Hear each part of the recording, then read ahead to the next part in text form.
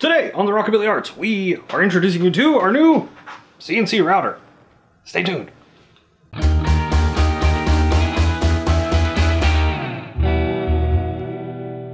So anybody who's been around the channel for any length of time knows that, you know, this is my wood shop. And uh, a few things have changed. Like when I turn the camera around, you'll notice that it's not nearly as much of a disaster as it usually is. The wood is nicely organized for a change. So despite all of my protestations of I'm a slob, I actually needed organized wood. And part of that was because of this beautiful bastard. I have wanted a CNC router for a very long time. The things you can do with it are absolutely incredible. For instance, I made this the other day and it is crazy cool, right? This took about five and a half hours to run, but yeah, I was able to do 3D modeling in it and carving. But the real bread and butter of this machine is that you can do engraving and you can do carvings and like really, really cool stuff with wood. So this is not a tutorial video. This is not a long form video about like how everything works. And you know, I've got two more videos planned uh, about this at least. One of them is why I bought this particular machine and the other one is going to be about why I chose which software I did. Maybe even a third one on the total cost of ownership of it, but we'll see. So without further ado, let me introduce you to my Shapeoko Pro XL. All right. Why didn't you get the bigger table? Well, I'm glad you asked. Definitely not me wearing sunglasses. Um, I bought the XL and not the XS XXL because of the width of my table. If I had bought the bigger one, it uh, would have extended over the edge. So there you go, world's fastest explanation. So let's get started.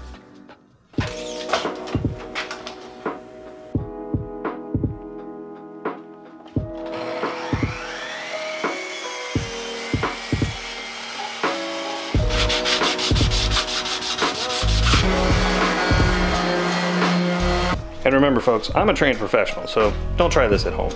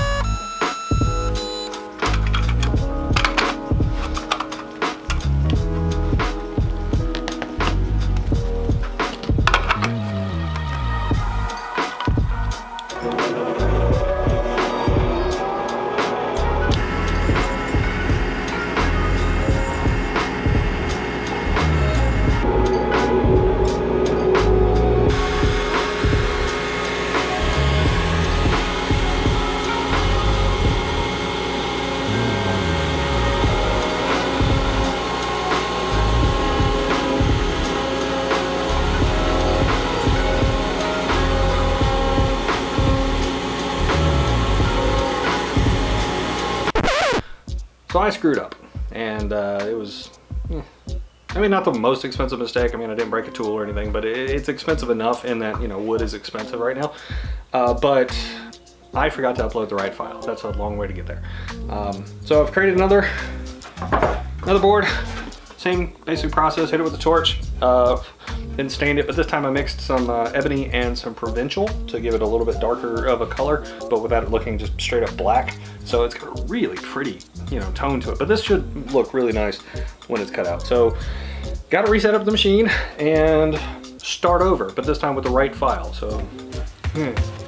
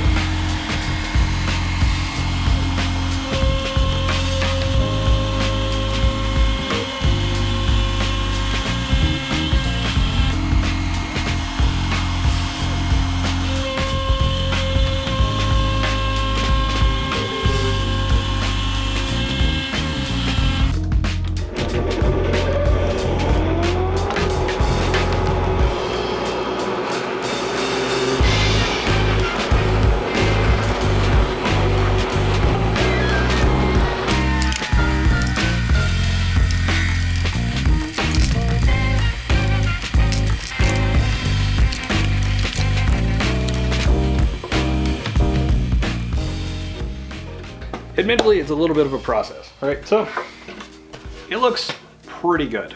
Like, I don't know if you can see that.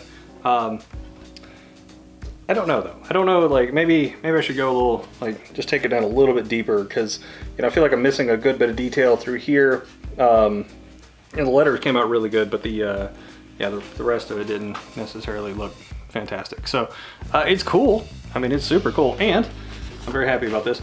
Uh, this is called onion skin, right? So like you, you put in the thickness of your material and uh, it didn't touch the table at all, which is kind of amazing. So um, that's about as perfect as you're gonna get is uh, paper thin. I feel like there's a, a woeful lack of uh, instructions on how to do inlays. So I'm gonna probably do my first tutorial video. So wish me luck on that. Um, but that's it, uh, until we meet again. Drive fast, take chances, safety third. Good night.